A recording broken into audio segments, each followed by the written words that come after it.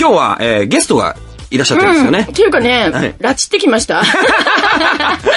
前の現場が一緒だったんで、はい。イどうだった？ギのみゆくんです。はい、こんにちは。こんにちは。よろしくお願いします。えー、よろしくお願いします。なにいつもの勢いどうやっちゃったのよ。よろしくお願いします こんな感じですか 俺そんな、そんな見たことないわ。私もね、今やってるプリキュア555ってやつがあるんだけど、うんうんあれで初めて一緒でね。そうですね、その前に一本だけあの、プリキュアの映画。あ、そうそうそうそうそうそうそう。でも僕、あのーあれなんですよ。初めてだったのに、すごい。その、その映画の撮りの時に、ちょっとお茶入れてよとか言われて、え、なに、なに、どういうことどういうことって思ってて。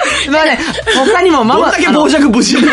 宮野真守くん。とか、あの、浪川大輔さんから、あの、パクさんの話を、あの、聞いてまして、で、初めてそこでお会いした時に、なんなん、なんでお茶、まあ、とりあえずい入れようと思って入れてたら、もう一杯ちょうだいとか言って、それがなぜかですよ、定着しちゃって、今でもね、お茶係として、はい。あそうなんだ。はい。違うのよ。だってさ、こっちが先にいたんでしょ？その番組に。そうそう。普通、後から入った人がさ、お茶振る舞うとかわかるけど。じゃないんだけど、聞いてよ。なんかね、そのね、波川と、うん。あの、よく話をしてて、イリのみゆの話をしてて、全然知る前ね。うんそれまで、私と波川って結構キャラ被るわけよ。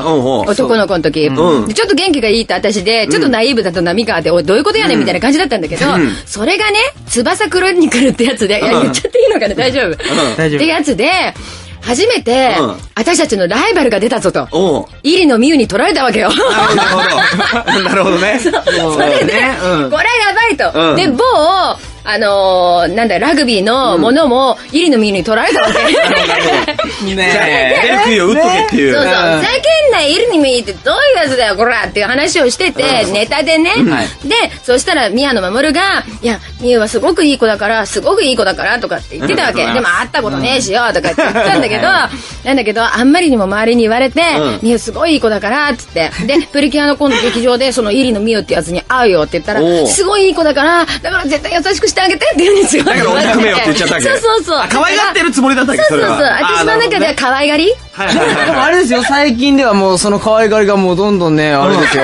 あれでしょ？だからなんかあの、動物がさ、なんかこう可愛がってるつもりが気がついたら 殺しちゃってるみたいな。虎と猫みたいなそういうことだよね。もう本番中にね、あの、つねるんですよ、僕の。これはひどいよね。声出ちゃいますよね。出せばいいじゃない。ダメでしょ。ダメでしょ、ほら。ほんと可愛くってさ、うんこんなに若者でさ、うん清潔感のある青年ってなかなか合わないじゃない？そうだよねそうそう。うんで、一生懸命だしさうん、可愛い可愛いと思って、可愛がってんの。ええ、いいね。でも可愛がってもらっといた方がね。そうですね。敵に回すと怖いからね。ですね。はい、そうそうパクさん、今でも全然無理。はい。はいはい。